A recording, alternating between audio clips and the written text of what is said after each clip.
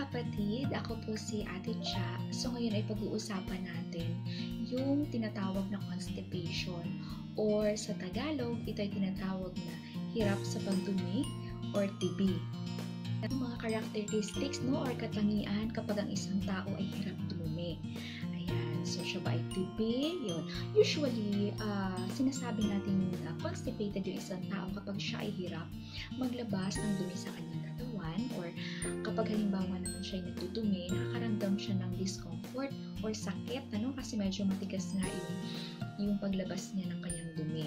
So, minsan naman, uh, dahil doon, nakakaramdam siya ng uh, nasusuka siya, no? Tsaka masakit yung ulo niya.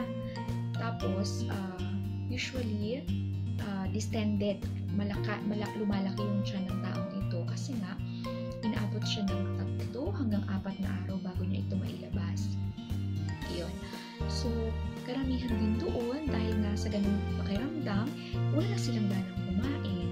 So, magkakaroon sila ng anorexia na tinatawag. Yan. So,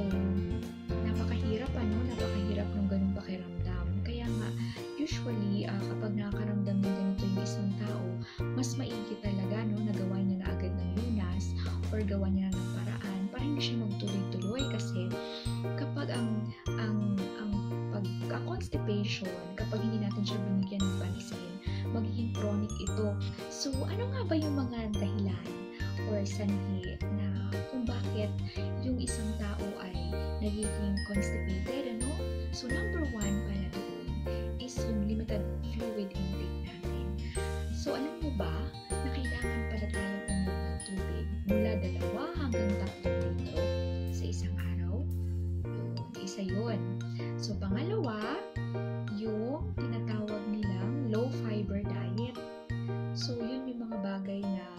hindi natin ginagawa, lalo na sa mga tao na hindi mahilig sa prutas, hindi mahilig sa gulay, kasi yun yung mga pagkain na napaka taas, no, very rich sila sa fiber.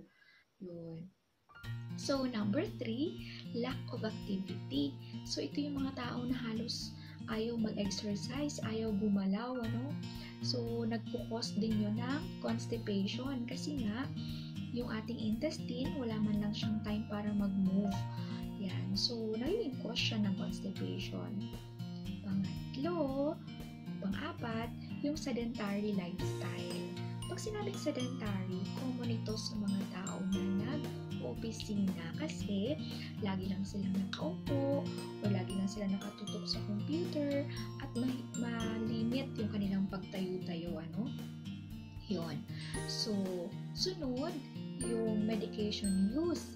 Meron kasing mga tinatawag na gamot na uh, kadalasan ay nagkukos kapag tinitake natin ito, nagkukos siya ng constipation. Isa yun sa mga side effect niya or adverse effect ng gamot ay nagkukos ng constipation.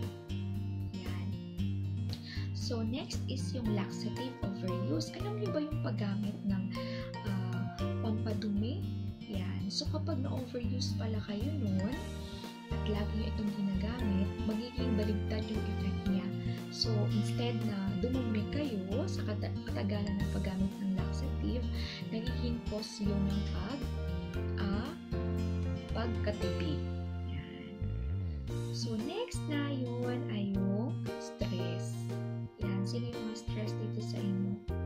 Ang pagiging stress din ay nagiging cause ng uh, constipation. Yun. So, next natin is depression. So, yung or other neurogenic diseases. So, nagkukos din yan siya na constipation. Next is yung lack of privacy. Alam niyo ba yun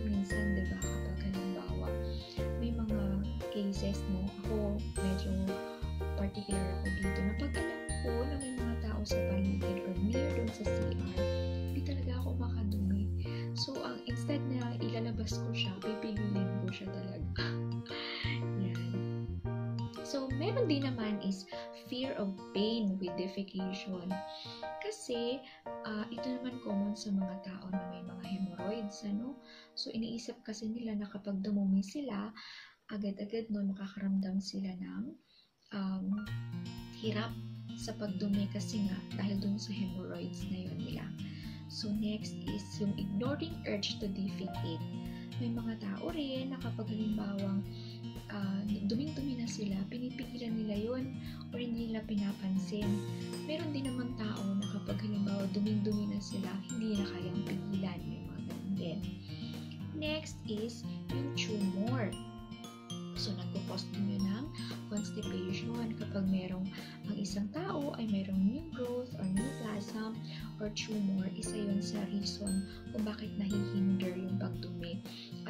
nagko-cause ng constipation.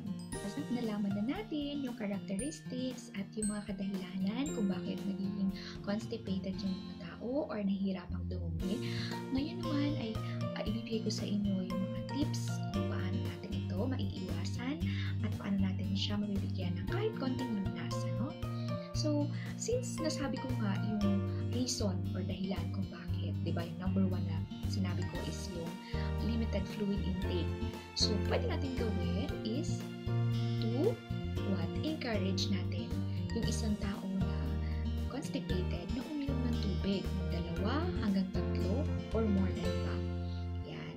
So, mas maigi yun na ang sufficient kasi na pag-inom ng tubig is nakakatulong, no? Para mag-soften, mag-soften yung kanyang dumi at maigi na itong mailalabas at banayad. Yan. So, karamihan, common ito sa mga older patients or older people, yung matatanda natin, yung mga lolo't lola natin dyan, or mga tatay at nanay natin dyan. Kasi hindi na nila na aalala yung pag-inom ng tubig. So, mas better ano, kung tayo ay apo lagi natin silang i-remind na, oh, nanay, tatay, kailangan nyo pag-inom ng tubig or pwede naman gawin natin yung ilista, yung kanilang iniinom na tubig para mas maigi natin ma-monitor or ma-check ma-check natin na tama ba yung iniinom ng tubig or sapat na ba ito sa buong araw. Ayan.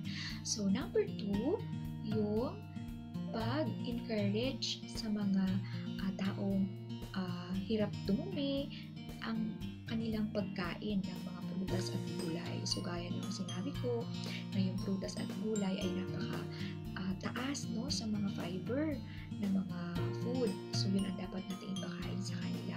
So, mas maigi yung mga uh, isa sa mga example nito, yung ating pineapple, no? Makikita niyo yung fiber niyan. Kapag kinain niyo talagang napaka maayos at napaka-rich noon. So, kasi kapag yung mga fiber food, nakakatulong yun para walisin yung intestine natin para eventually magiging malinis ito. So, nakakatulong talaga yun. May mga tao nga minsan eh, na kapag kumain sila ng uh, prutas or gulay na napakataas sa fiber, agad-agad, after 3 hours, no, mararamdaman nila agad yung pag uh, hilab ng kanilang tiyan at makakaramdam sila ng pag-agarang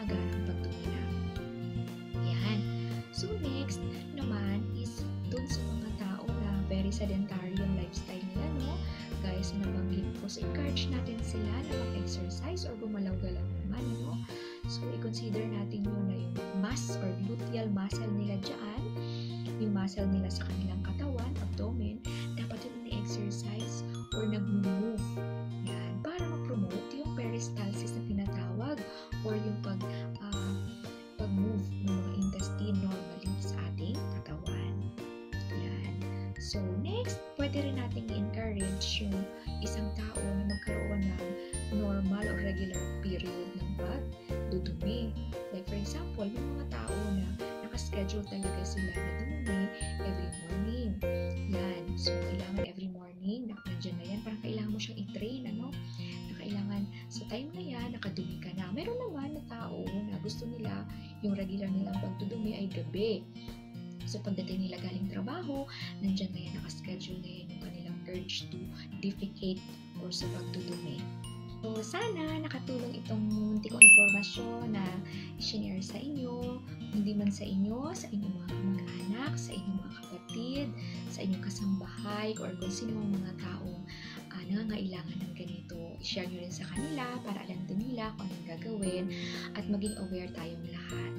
Yan. So, this is Ate Cha, your cheerleader in health. Yeah.